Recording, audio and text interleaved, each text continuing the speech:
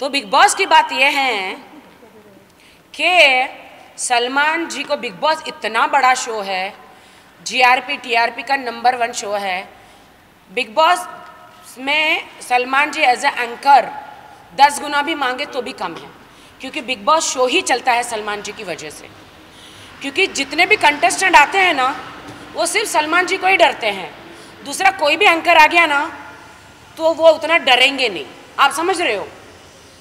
Including me मैं भी डरती हूँ सलमान जी से। बहुत डरती हूँ। आदिल जी के साथ इस बार देख पाएँगे हम? वेर आर यू साले साले। देख पाएँगे आपको? ये क्या बोल रहा है?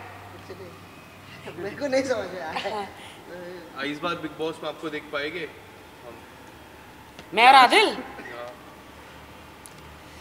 डेफिनेटली सलमान जी और बिग बॉस जी अपने दामाद को बुलाएँगे बिग बॉस में तो वाई नॉट ऑफकोर्स हाँ वो तो दामाद ही हैं उनके।